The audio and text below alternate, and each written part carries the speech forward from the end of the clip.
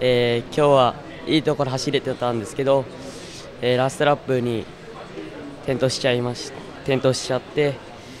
えー、リザルトは残せなかったんですけど、まあ、今回学んだことは大きい大きいこと学んだんで、まあ、次からはもっといいところを目指して頑張ります。